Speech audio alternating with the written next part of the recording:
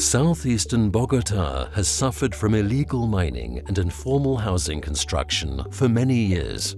Within the hills of this area is Entre Nubes Ecological Park, home to a wide variety of endemic fauna and flora.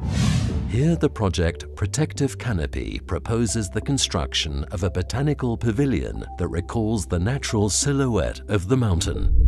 The structure of the lightweight building consists of steel cables attached to opposing quarry walls.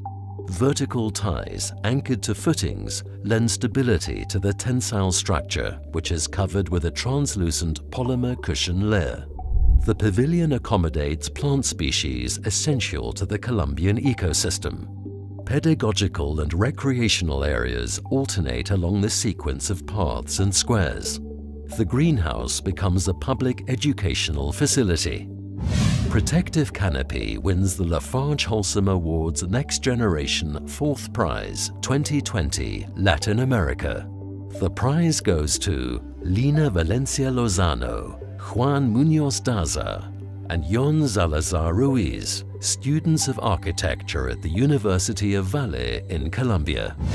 The awards jury is fascinated by this determined yet gentle architectural gesture intended to mend a wound in the landscape inflicted by mining.